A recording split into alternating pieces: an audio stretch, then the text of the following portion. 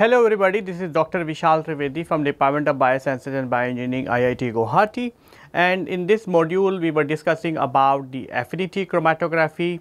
And in the previous lecture we discussed about the basic principle of affinity chromatography, what are the de uh, determinants are playing crucial role by bringing the uh, receptor and the ligand together and we have also briefly discussed about the different types of matrix what you can use. So, in a typical matrix what you have is you have the coupling of the receptor or the ligand to the matrix and then you can use the couple the uh, cognate uh, pair for example in the case of matrix you can couple the ligand or in the case of ligand you can couple the matrix to the protein of your interest uh, and then subsequently you can be able to utilize them into the purification utilizing the affinity chromatography.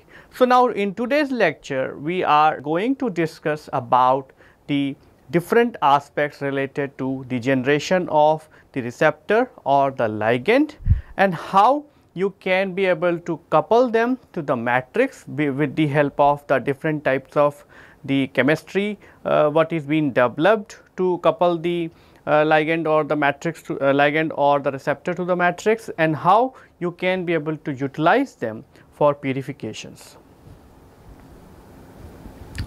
So, as we can have discussed uh, last time that the receptor or the ligands are actually are the making a pair because the receptor or the ligands are sharing the several interactions. For example, you have uh, the first thing is the receptor is having a three dimensional conformation which is exactly complementary to the ligand. So, this ligand is going to fit into this receptor and then you have the other kind of interactions like the hydrogen bonding, van der Waal or the pi-pi interaction and in the uh, some cases you may have the salt bridges interactions between the receptor and the ligand.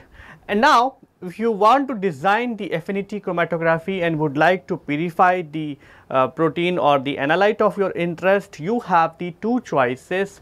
Either you can use the receptor or to the ligand to make the pair with the matrix which means you can couple the ligand or the receptor to the matrix. And if you use the receptor to be coupled onto the matrix then you are going to produce the protein along with the ligand. Similarly, if you couple the ligand to the matrix then you are going to generate the protein to the receptor okay so that the receptor and ligand are going to make the interactions. Now, the question comes under what conditions you are going to prefer to use the uh, ligand or the matrix. The sole purpose of any chromatography technique is to make the purification as easy as possible as economically viable which means it is uh, should not be very very uh, uh, costly to perform and the other parameter is that it should not require the extensive infrastructures. So, in many cases uh, whether you use the receptor or the ligand depends on the considering these parameters. So, in few cases you are going to couple to the ligand or in few cases you are going to couple to the matrix, uh, the receptor to the matrix. Now, uh, let us discuss how you can be able to generate the receptor or the ligand and how you can couple them to the matrix so that you can be able to utilize them into the uh, different types of chromatography techniques for example, whether it is a bioaffinity chromatography or the pseudo affinity chromatographies. So, generation of the receptor although we are saying the generation of the receptor, but it is more or less like the receptor or the ligand which is very very the same thing actually. Uh, so, the receptor molecule present onto the matrix can be produced either by the genetic engineering, isolation from the crude extract or in the case of antibodies it is produced in the mouse or the rabbit model and purified. So, you have the three options to generate the receptor or the ligands.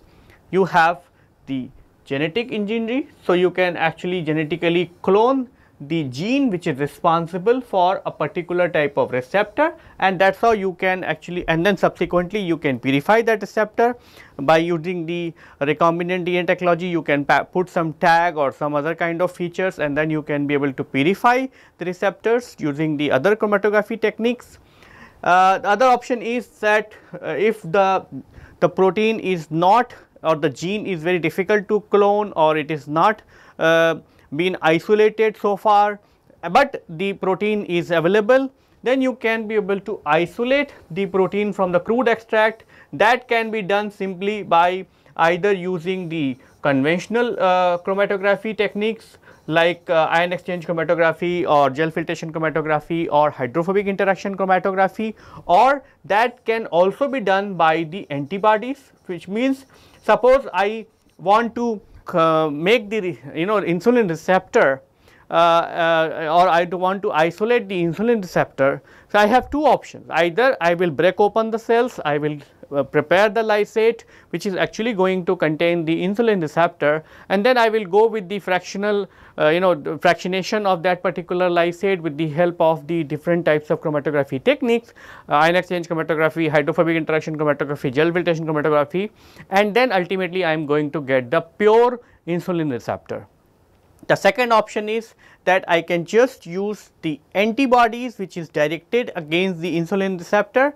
And then I can just take out the insulin receptor from the crude mixture uh, and that is how I can uh, get the receptor and that can be used for subsequently to for the other affinity chromatography techniques. For example, I can use the insulin receptor to simply purify the insulin from the blood.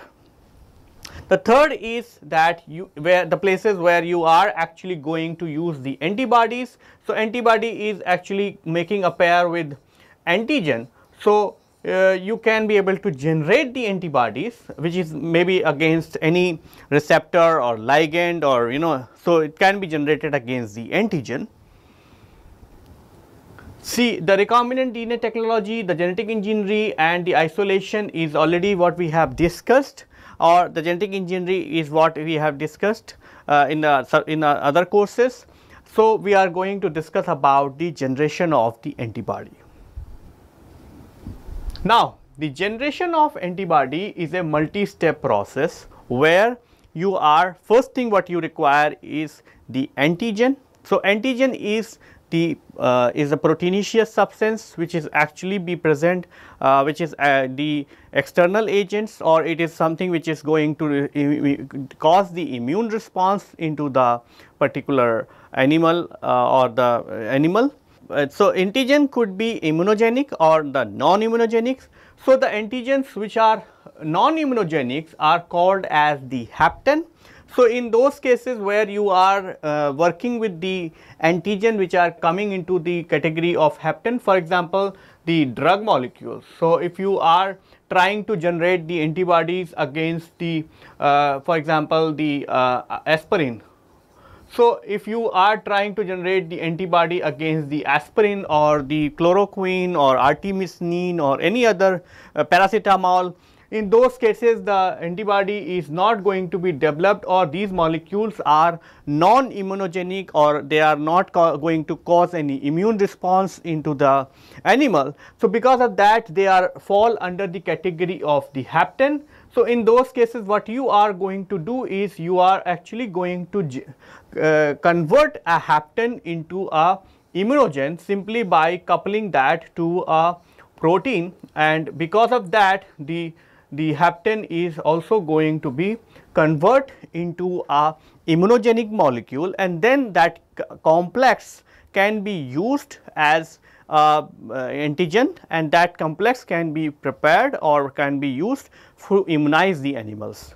Irrespective of whether you are working with the hapten which is being converted uh, by coupling it to a protein to uh, antigen or you have the natural antigens which are the protein of very very high molecular weight, uh, then process these antigens uh, so that they will be good enough to uh, you know immunize the animals. So, we will discuss that what are the different procedures or the processes you have to do when you want to uh, process the antigens so that it, it will be ready for the immunizations.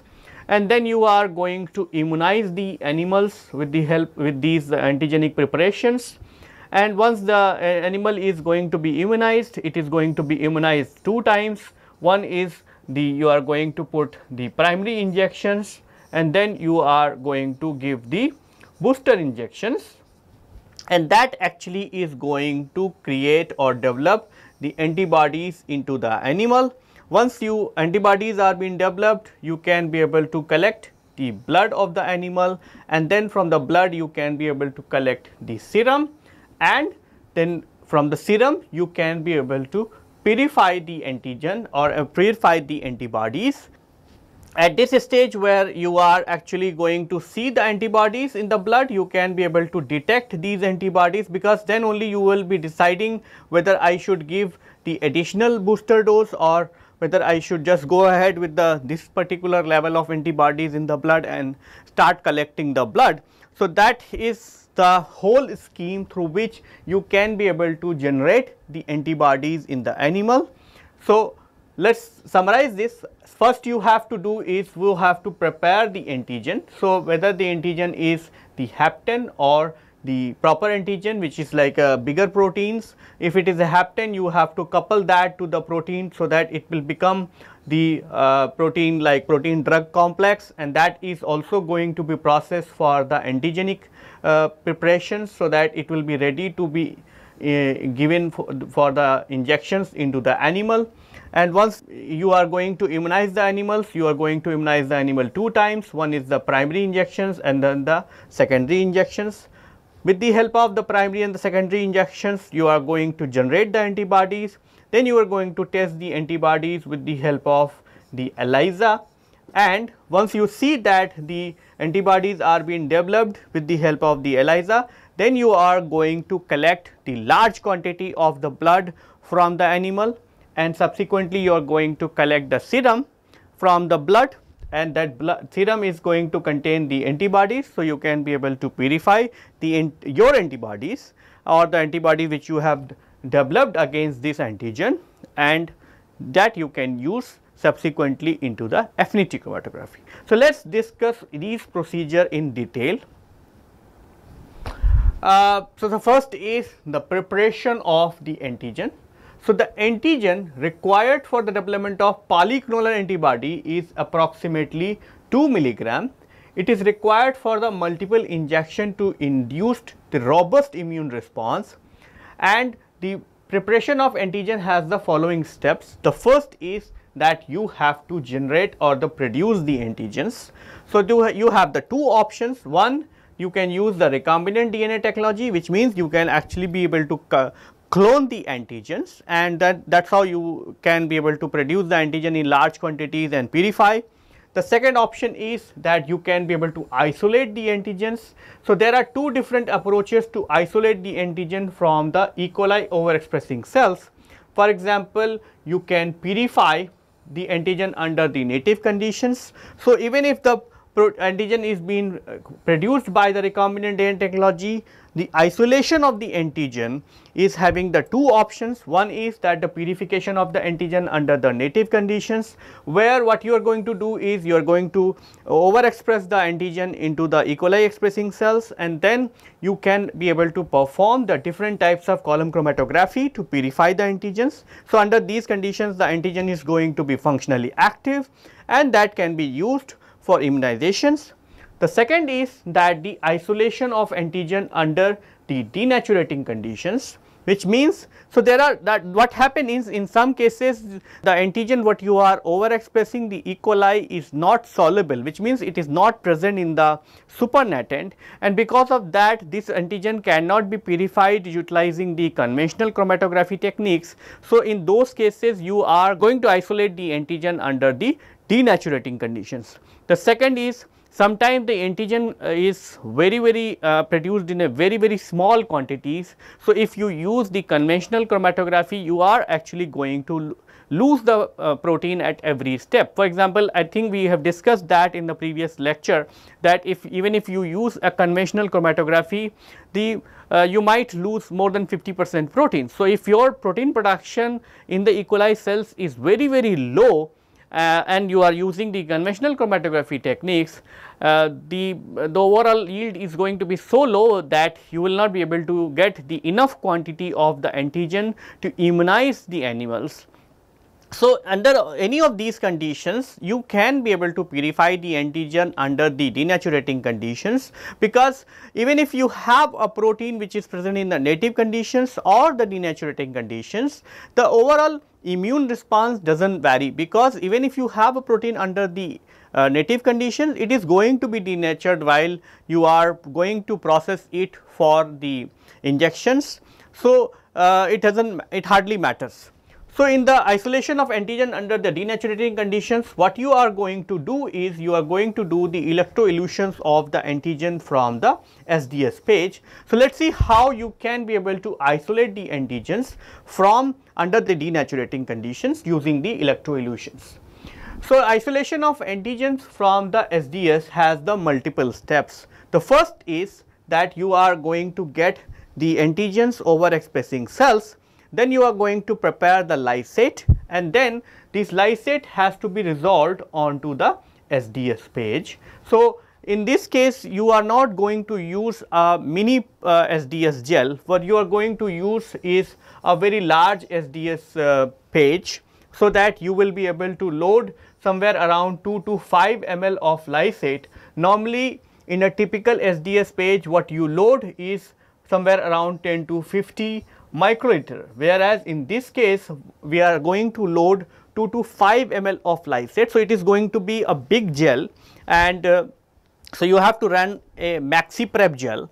So, uh, so this is going to be on a maxi prep gel and then what you have to do is you have to identify the region of your interest which means if you run the SDS page you are going to get different types of bands and then you have to identify the region where your antigen of interest is present and then what you have to do is you have to cut this region and bring out uh, the protein band. So, then you have to cut the protein bands. Once you got the protein band which is present in the uh, gel slice, you will be able to do the electroelutions and in the electroelution what you are going to do is you are going to take this gel block, put it into a dialysis bag and then you put it into a beaker okay and the in the beaker you are going to add or you are going to perform the electrophoresis. So, you are going to connect put the positive and negative electrode across this beaker. So, what will happen is that the because you are going to do the electrophoresis the protein band is going to start migrating uh, from the gel block. So, you can imagine that even if I have a protein block into the gel block and if I put the electrophoresis which means I am going to put the negative on top and positive onto the bottom, this protein band which is negatively charged because it has the bound SDS is start going to migrating and after some time the protein is going to come out into the solution. So, it will migrate and then eventually is going to fall into the extra uh, outside buffer. And then what you do is you just collect the uh, uh, outside buffer and that outside buffer is going to have the proteins whereas the gel slice is going to be present inside the dialysis bag. And then from here you can be able to just concentrate and collect the antigens. So, this is very very simple procedure and this is very easy to perform. And it is uh, very very uh, uh, you know so it is very routinely being used to isolate the antigens which are very difficult to overexpress or which are not soluble or uh, or other kind of conditions what we have discussed. So, to uh, explain you this procedure more in details, I would like to take you to my laboratory and then I will show you a demo where we are going to perform these steps and so that it will become more easy for you to follow these steps in your laboratory and you will be able to isolate the antigens under the denaturing conditions. Uh, in today uh, we are going to give you a demo about the electroelution. So, electroelution is a technique through which you can be able to isolate the antigen from uh, SDS page so you can see this is a typical SDS page through which you, we are interested to isolate this particular band. Uh, in ideal situations uh, you are supposed to not stain these gels but uh, since we are just showing it for the demo purposes uh, we are going to show you with this particular gel. So before you start the experiment for the electroelutions what you require is you require a SDS page where you might have resolved your sample or the protein. Uh, you require the uh, blade so that you will be able to cut the uh, your protein of your interest. Then you require a dialysis membrane. Uh, you require a beaker full of water. And then you also require the rubber bands so that you can be able to tie up the dialysis membrane so uh, let's start the uh, this gel elution electroelution experiments so uh, in the step one, what we have to do is we have to first uh, see that the what is the uh, band what you have to isolate. So for that purpose, uh, what you have to do is you have to uh, first check the protein, uh, the site of the protein or the antigen where the site is present. So for example, in this I have we have run the purified protein and this is the major band what we have to isolate. So what you have to do is you have to uh, you know cut this particular region of that SDS page. So what you can do is simply go with the lane. For example if I want to run uh, isolate this particular uh, protein band so what I'll do is I'll just first cut the uh, SDS page from the side like this and then I can just cut from the top and the bottom and then your uh, you can be able to remove this particular gel block and that should be good enough for eluting this particular protein or this particular antigen. Uh, if you are interested to isolate the protein for a very very large concentrations then in that case what you can do is you can simply merge all these wells and you can run a very uh, large quantity of the protein. So once you have uh, uh cut the block and you now your block is ready for the electro electroelutions then the, in the second step what you have to do is you have to prepare your dialysis membrane. So this is a typical dialysis membrane what we use in the laboratories. So what you see is it is a, actually a plastic kind of uh, thing. So it is not a plastic but it is look like as so it has two folds actually or the two membrane uh, two slips actually but they are you know stick to each other. So before you start what you have to do is you have to just cut the dialysis membrane. And what you can see is that it is actually stick to each other. So the both the uh, you know ends are stick to each other. So to get this dialysis membrane to be uh, in a working conditions what you have to do is you have to put this dialysis membrane into a beaker. And then you fill this beaker with a water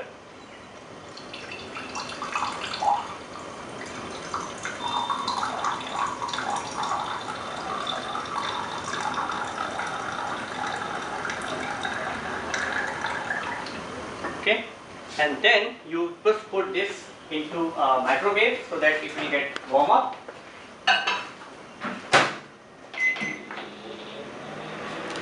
So while uh, this is this dialysis membrane is going to be warm up, what happened is that the two sheets of the this particular dialysis uh, bag is actually going to be removed from each other because when the water is going to boil it is actually going to remove the surfaces what is being used to adhere these two uh, membranes and as a result it is actually going to give you a bag in which you can be able to place your uh, dialysis uh, your your SDS, the band that we have just cut from the SDS page and then we can be able to do the electroelutions.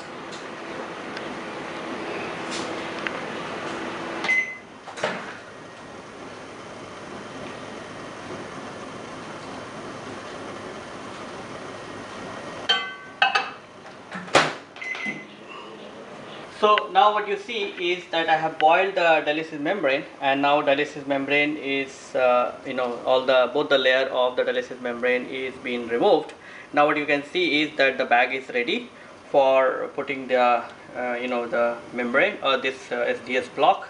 So what you can do is you can simply open this and then you place this uh, block inside the membrane uh, inside this bag very carefully so that you should not damage the protein. And once this is being put inside then what you can do is you can just put the uh, the rubber band from both the ends. So you can just put the rubber band on this side. And you have to be very careful that it should not be you know leaky or should not cause any problem. So when you put the rubber band on one side and then you put the rubber band on the other side. And in between what you can do is you can just simply fill a small amount of the buffer into this so that your protein will be in the water instead of and uh, by doing so you can also check that there is no leakage actually. And uh, because if there will be a leakage the protein is going to come out from here instead of going uh, via the electroelutions so you can just add you know 1 or 2 ml of your buffer and that should be good enough. And then you can do is what you can do you can close it from the top as well with the next rubber. So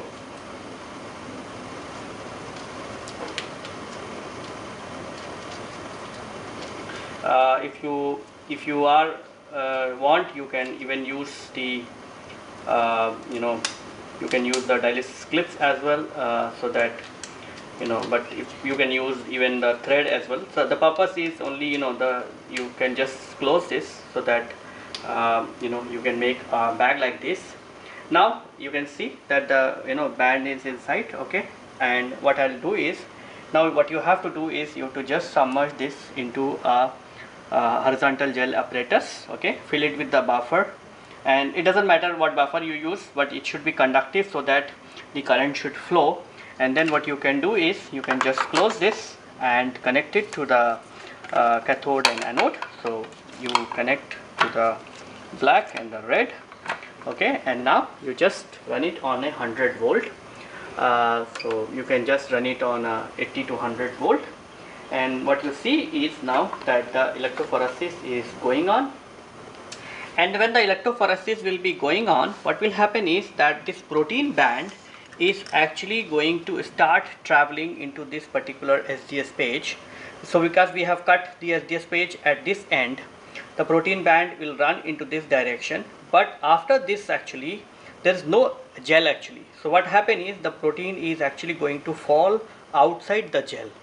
And because outside we have already covered it with the dialysis membrane so it will actually fall into that particular liquid what is present into the dialysis membrane and now your protein or the antigen is going to be present into the that particular solutions. So now we are going to continue with this electroelution or this uh, uh, electrophoresis for at least for another uh, one or two hours. And then we are going to see whether there will be uh, you know electroelutions or not. And then after that what we are going to do we are going to remove the we are going to remove the rubber bands. We are going to open the dialysis membrane from one end are going to collect the supernatant and then you can just concentrate that supernatant and it is actually going to give you the protein of your interest so this is all the uh, few steps what you have to do if you want to do the electroelutions to isolate the antigen in a large quantity under the denaturating conditions from uh, SDS page for, for the production of antibodies.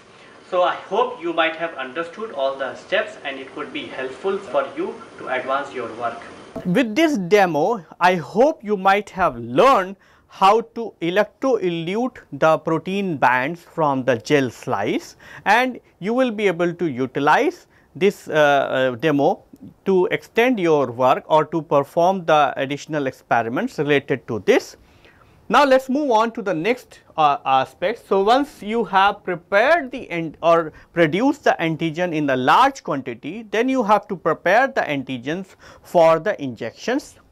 So, the preparation of the antigen for the injections, what you are going to do is you are going to combine the 100 microliter of antigen where you are going to have the 100 to 150 micrograms of protein with an equal amount of fluids incomplete uh, complete adjuvant to a final volume of 200 microliter.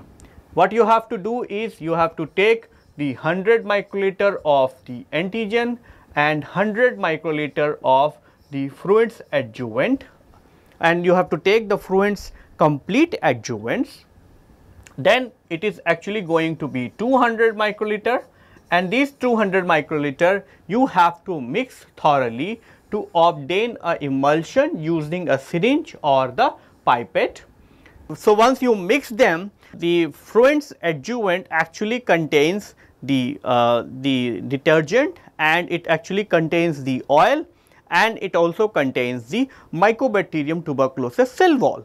So, fluids adjuvant is actually going to stimulate the immune response and it is actually going to activate the system so that the system is ready to take up the antigen, but the, uh, the uh, since you are making the emulsions where the oil and the water is going to mix together and because of that the antigen is going to be trapped into the small vesicles. So, what happen is when you take the oil and you mix it with the water it is actually going to make the emulsions where your antigen is going to be trapped within this emulsion. So, because of that the antigen is going to be released very slowly from the site of action and that is the purpose by for which you are actually producing this uh, this emulsion. So, that it, the antigen should be keep immunizing your animals for a very very long time. Because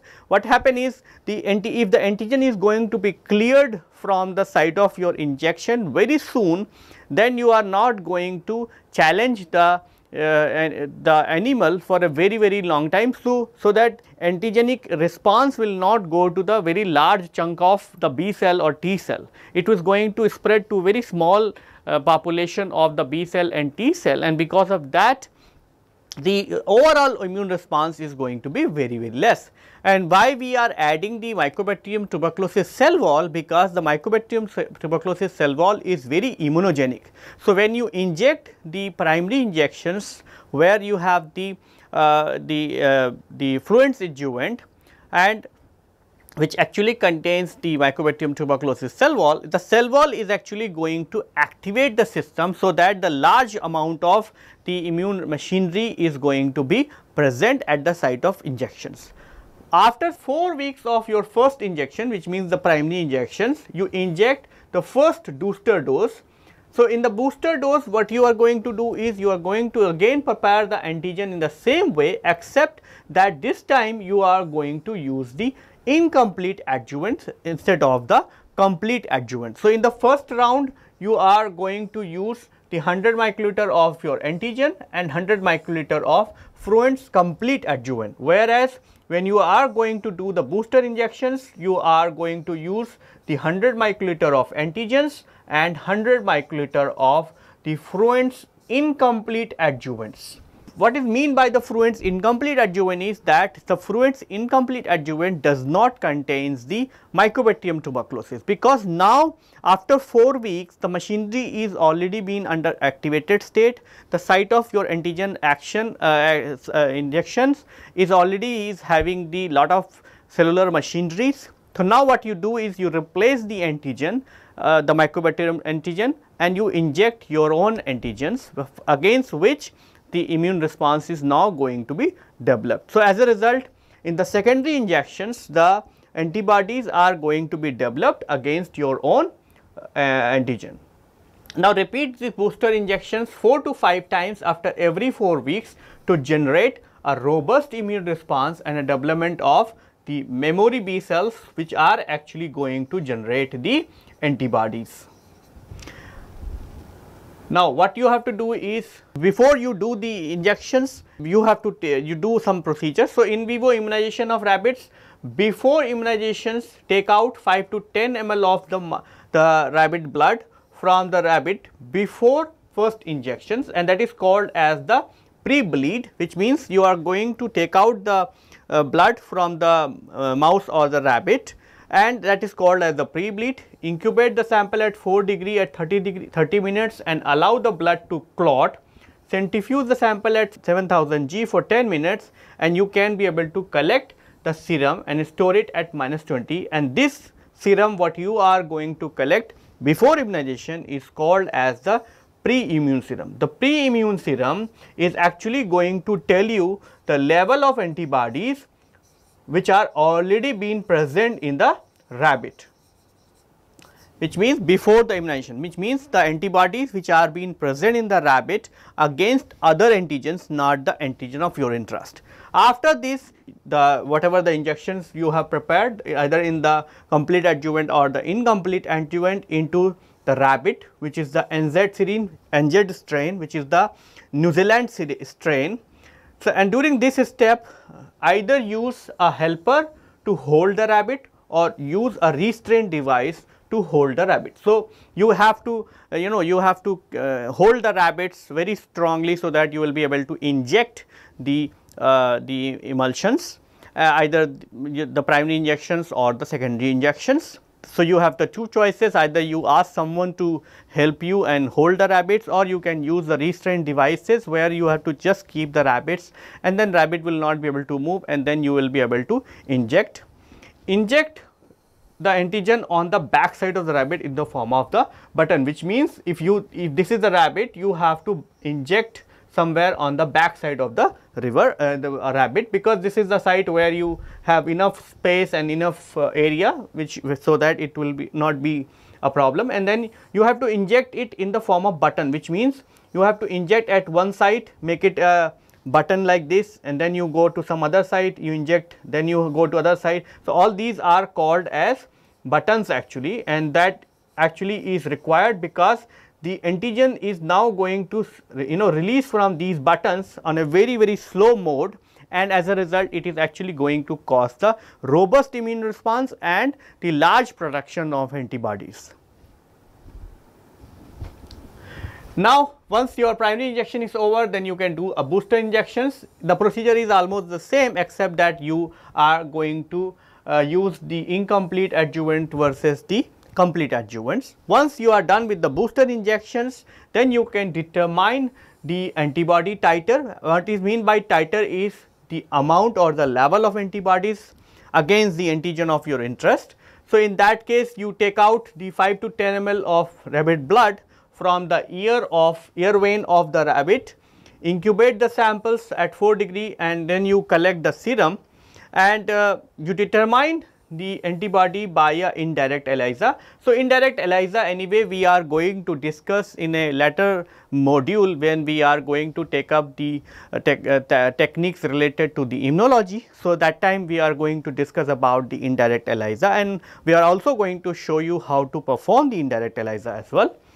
After that once you are sure that the antibody titer is very high, uh, you can be able to collect the blood and prepare and you can prepare the serum. So, for that you take out 20 to 30 ml of the rabbit blood from the ear vein or the large quantity of blood can be drawn after the cardiac puncture. So, you can have the two choices either you draw the blood from the ear vein which is actually not going to be a terminal procedure, but if you are looking for a very large quantity and you are sure that the experiment is now been over and you do not need any more antibodies, then you can be able to collect the blood from the cardiac puncture which means you can just uh, make a hole into the uh, into the heart and that is how you can be able to collect very large quantity of the blood from the rabbit, but that is a terminal procedure after that it is the rabbit is not going to survive and he is going to die. Irrespective of the locations then you have to incubate the sample at 4 degree for 30 minutes and allow the blood to clot. The centrifuge the sample at 7000 G for 10 minutes and then you can be able to collect because once you uh, collect the blood and you allow them to uh, clot. So, once the blood is going to be uh, go for the clotting reactions you are going to get two fractions. One fraction where you are going to get the blood cells uh, which is actually going to form the clot and the second place where you are going to get the liquid part which means that is the serum. So, that is the yellow color serum you are going to get after the clotting reactions. Now, once you have produced the antibodies into the rabbit and as we have discussed all the theoretical aspect related to this particular technique, I thought of you know showing you how to produce the antibodies uh, in a uh, when you go to uh, the animals or when you go to a animal house and try to do yourself. So, for this purpose I went to the uh, Central Drug Research Institute and then I took the help of the institute because we do not have uh, you know the animal house. So, that is how we have taken the help of the other institutes and I went there and then I have while they because they were uh, doing this immunization and the antibody production uh, steps. So, I got the chance and then I actually made a demo video. So, that where the uh, the scientists are actually explaining each and every step what we have discussed so just now and that actually is going to helpful for you to understand how the antibody is being produced inside the lab inside the animal house and how you can be able to immunize the animals and I hope that the demo video what is going to be helpful for you to understand the practical aspect of the antibody generation as well. I am Amog Anand I work in CSIR, CDR, Lucknow. And in today's demo, uh, we will be discussing different steps involved in generation of antibodies in rabbits. So uh, for the first step, we require several things like Franz complete adjuvant, there it is from sigma. We need a microemulsifying needle which has two openings connected with a fine needle. We need antigen which is purified and filtered so there are no contaminations. It is a sterile solution of antigen.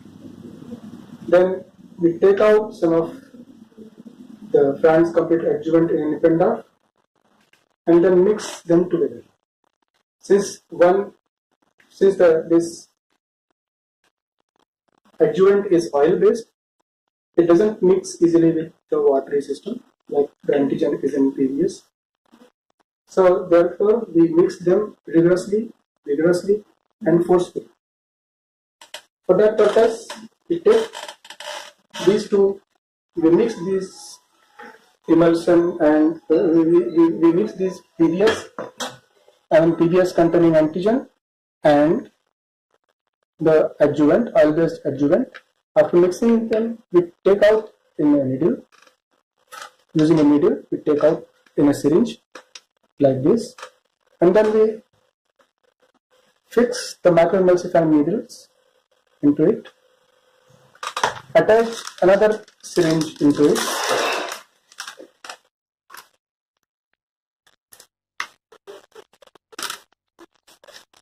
Like this.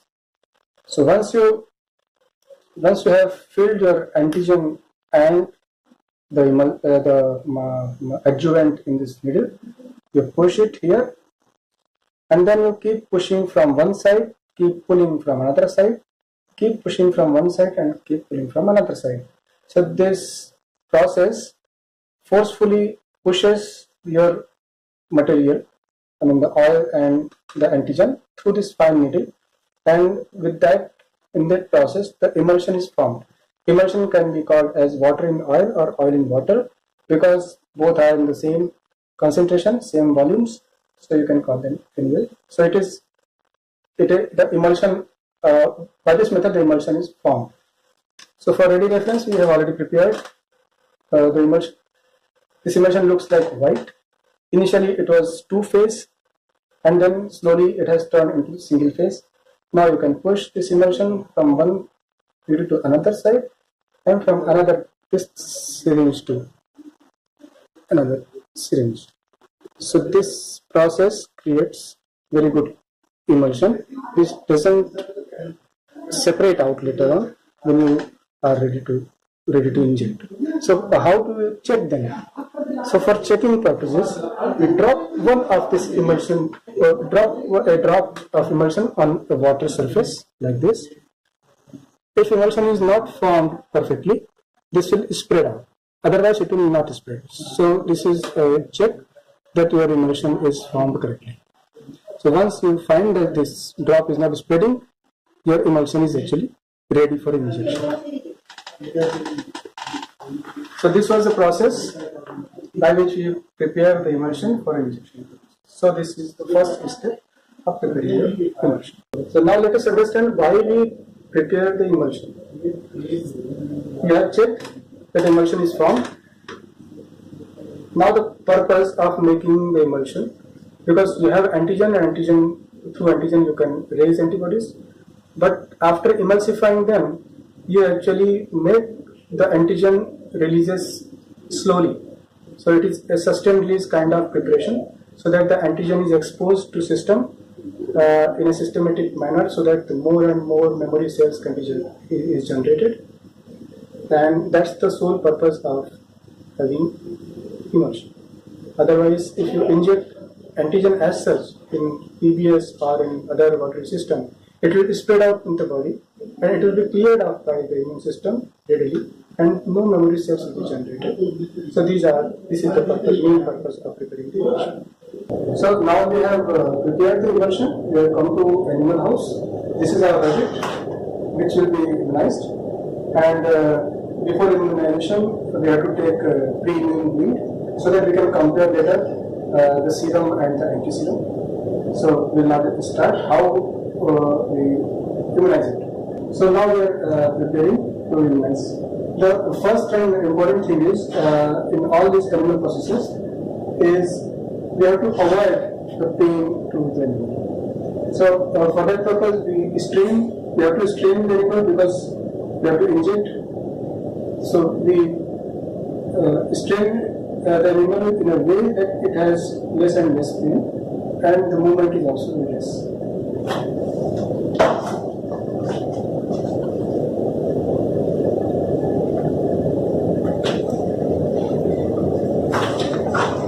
So we'll inject this into the emulsion into the thigh. So to catch hold of both the legs, then we have to sterilize the area using alcohol. We have to look at the thigh muscles. They should be cleaner, cleanly visible.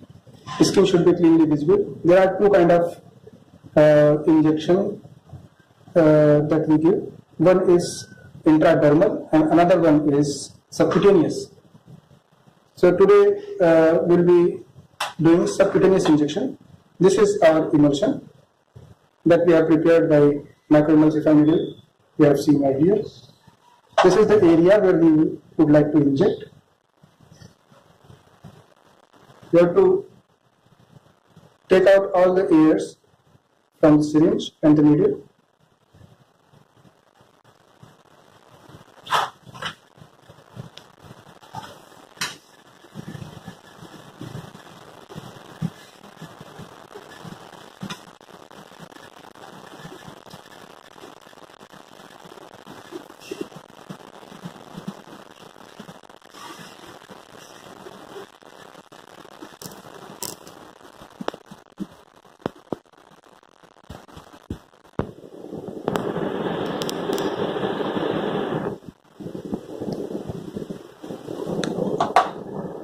taken out clean the area again and then we apply some antiseptic powder here it is betadine powder so that the infection cannot develop later on we sprinkle some of it at the area of injection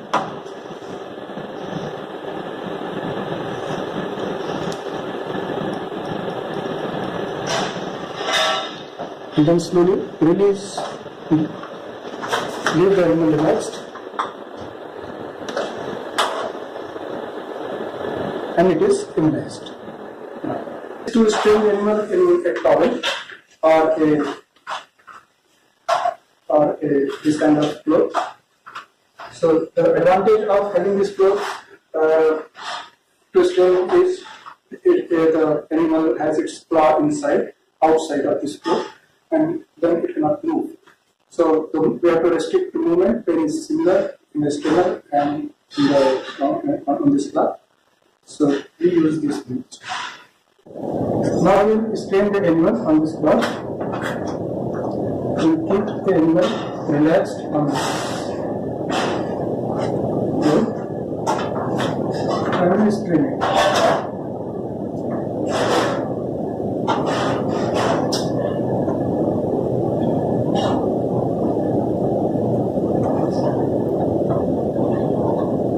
That the ear are outside and the animal is trained properly.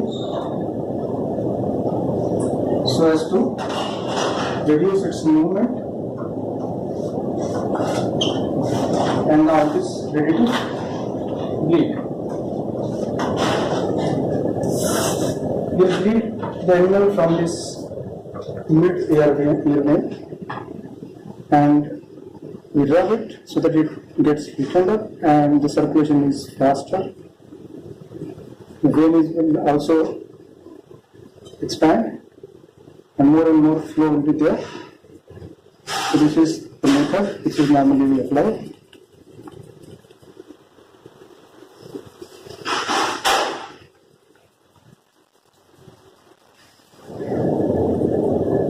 When the vein is properly visible, this is the mid air vein which we will slightly sterilize it using alcohol. And using a 20 gauge needle which is wide enough to give sufficient bleed we will prick the vein and collect the blood.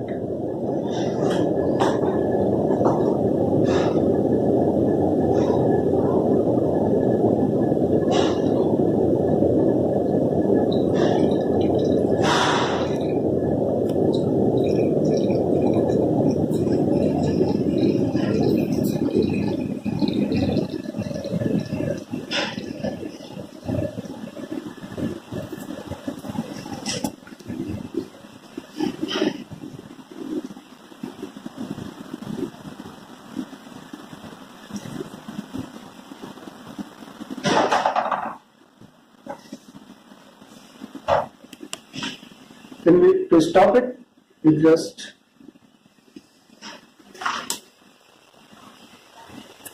with less and less pain, you can collect the beat like this.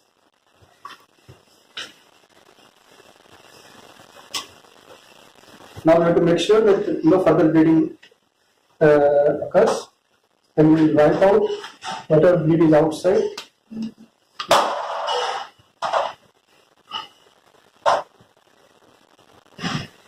using sterile water. We wipe out outer blood here and there if, if any spillage and keep we wipe out all over using water so that the the vein becomes cool and gets shrunk.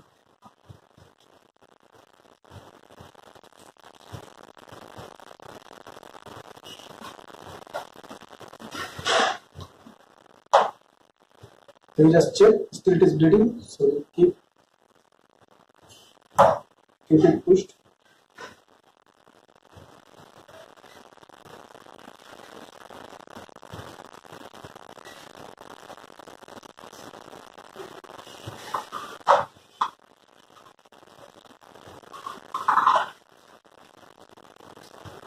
Until the bleeding stops. So now uh, now I think the blood has stopped out and then now we apply some antibiotic. Here in this case it is betadine powder so that there is no further uh, infections or inflammation in the rabbit and this also ensures that there is this is erythema and uh, if there is any inflammation it will have some pain so it will it will avoid that kind of pain also. So we have the isolated approximately 10 to 12 ml of blood.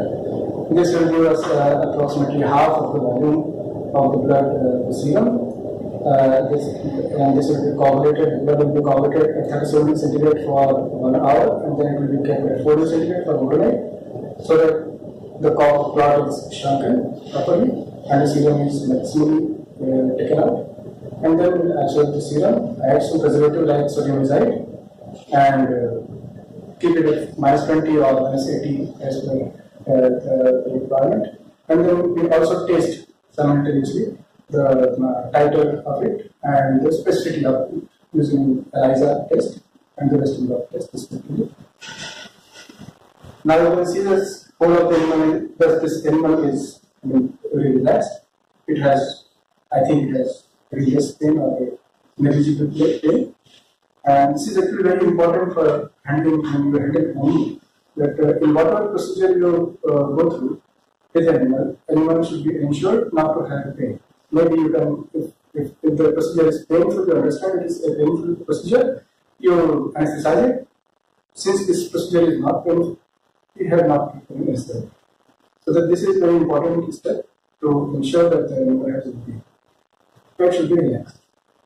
So in uh, whole of the process, I think you have uh, uh, you have got to know all the steps of animal development in the rabbit, and uh, we have we prepared medicine, we injected the medicine, we isolated the blood after giving sufficient booster doses, and uh, and whole of the process is in the uh, I think you have understood most of these processes, and you liked it. So, this demo video is probably be very helpful for you to understand the each and every aspect, aspect especially the practical aspect related to the antibody productions.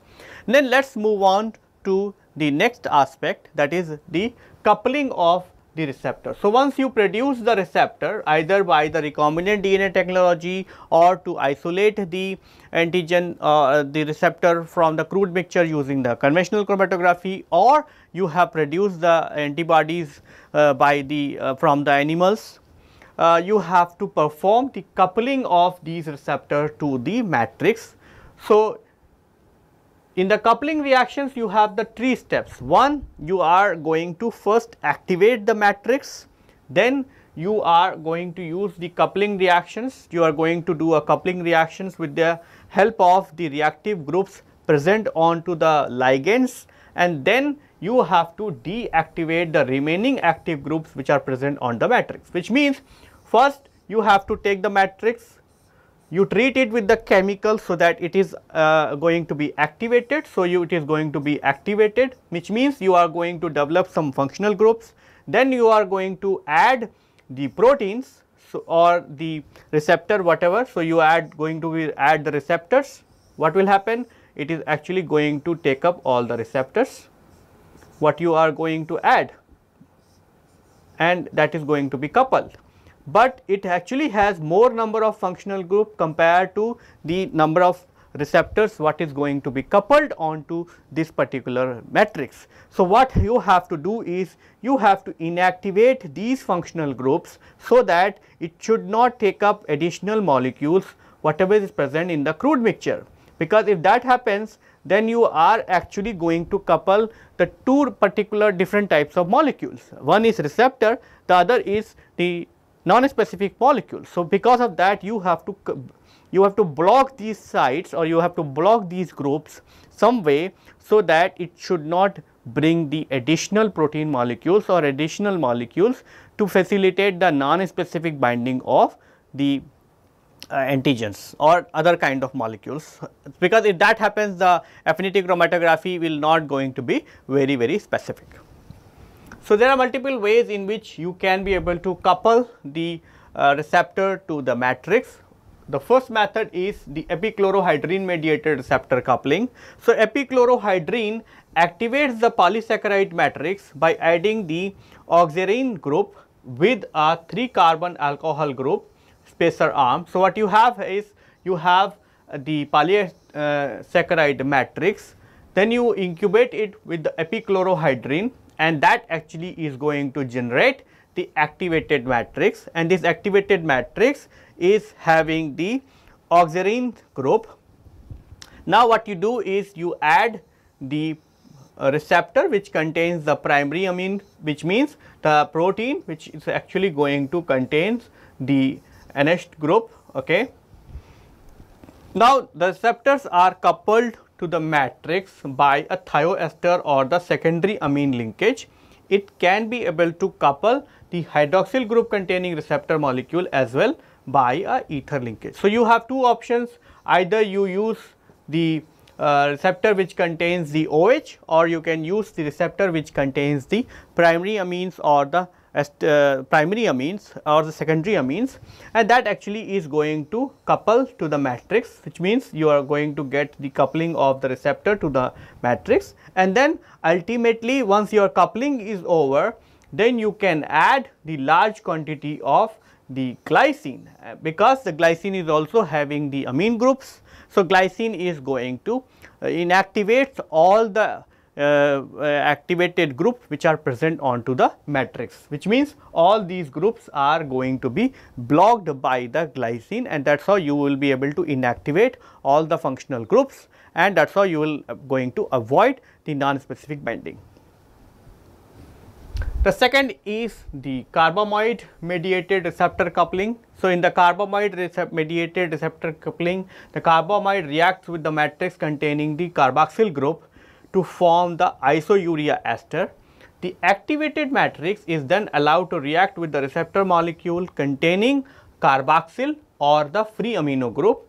Receptors are coupled to the matrix by the secondary amine linkage, which means the you take the polysaccharide matrix which means you can take the dextran or saccharide matrix you which is actually going to contain the uh, carboxyl group and then you add the carbamide the carbamide is going to activate and generate the isourea esters.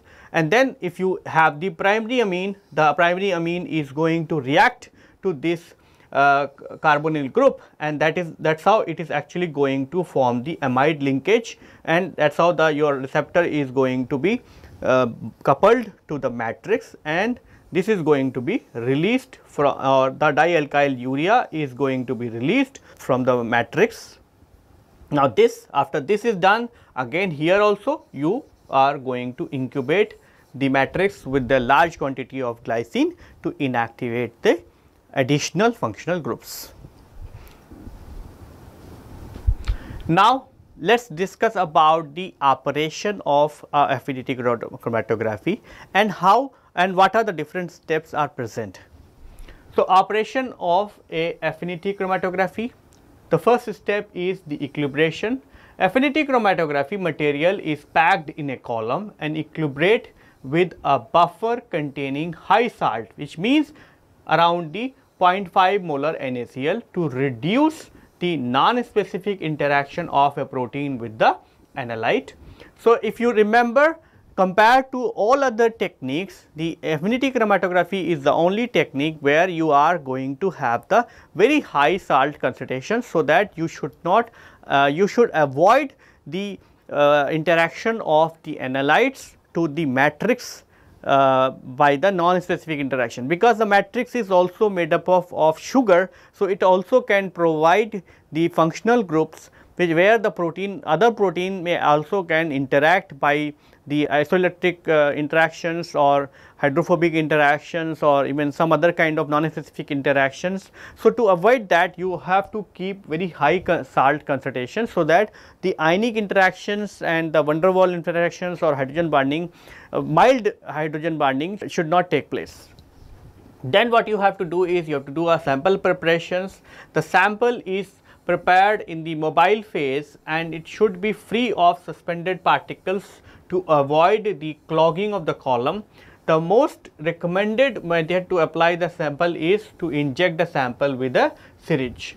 So, the first thing is you are going to generate the affinity column which means you are going to produce the matrix then you couple it with the help of the coupling reactions then you are going to equilibrate and apply the samples. So, once you apply the samples your antigen is going to bind to these receptors whereas the all other um, antigens which are present in the uh, in the uh, in the sample will not going to bind and once you do the washing steps they are going to be washed away. So, the third step is the washing. So, in the washing step you are going to flow the buffer which contains very high salt concentrations and as a result the non-specific proteins which are uh, or non-specific analytes are not going to bind. So, that is how it is actually going to uh, remove all those proteins and then you are going to do the elutions. So, in the affinity chromatography there are many ways to elute an analyte from the affinity column.